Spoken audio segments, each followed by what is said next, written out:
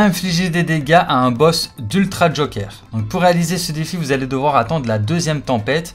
Dès que la deuxième tempête est là, vous allez avoir trois Ultra Jokers qui vont spawn sur la map. Donc les, Ultra Jokers, ils sont signalés par un petit logo comme vous voyez ici, à Brutal Bastion, à Mega City et à Shattered Labs.